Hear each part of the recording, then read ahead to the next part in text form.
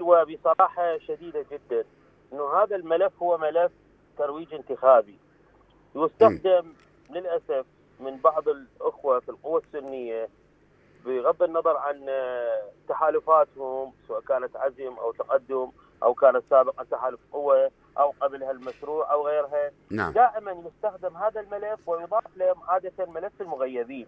أنا خل يكون عندنا قصد كإعلاميين نعرف ان هذه الملفات متى تفتح. والا أنت اليوم أنا وياك من ذيك الانتخابات لحد هذه اللحظة متى انفتح هذا الملف إلا بحالتين.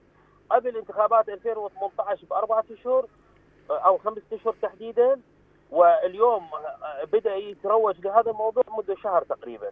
لا حديث عن مفاوضات ولا حديث عن مطالبات ولا توجد مطالبات رسمية من نواب وممثلي محافظة بابل أو محافظة الأنبار باعتبار انه هذه المنطقة فيها فيها حدودية وفيها تقاسمات جغرافية وبعض سكانها لا أستاذ عباس للامانه كانت كانت هنالك مطالبات كثيرة بهذه القضية لكنه قد يكون الناس. وصلوا. إلى حد.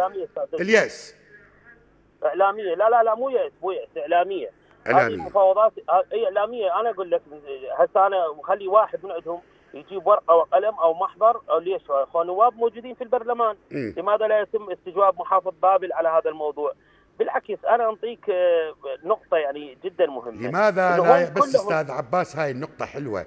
لماذا لا يتم استجواب محافظ محافظ بابل بابل. حول هاي القضية؟ استجوبه محاية ناحية من نواحي محافظة بابل. استجوب المحافظ مثل ما سالته أستاذ عباس ما. تزعل مني؟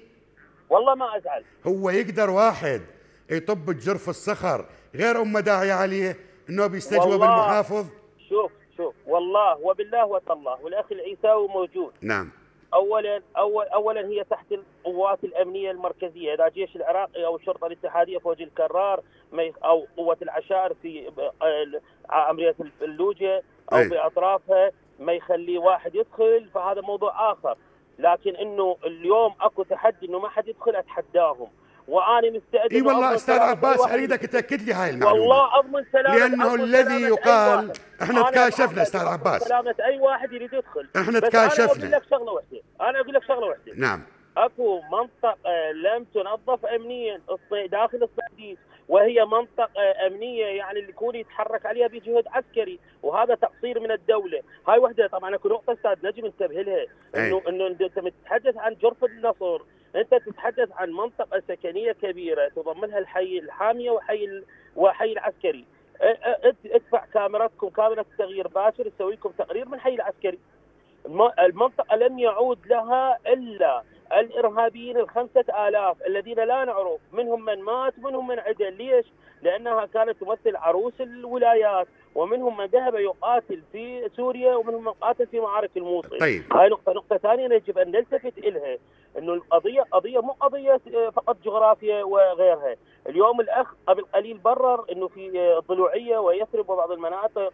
نعم. ما عادت بسبب مشاكل نعم بسبب مشاكل آه، عشائرية. وهاي المنطقة أيضا بسبب مشاكل أمنية وعشائرية.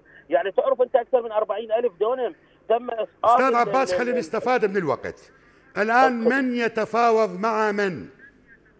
ولا واحد متفاوض إلا فقط بالإعلام للدعاية.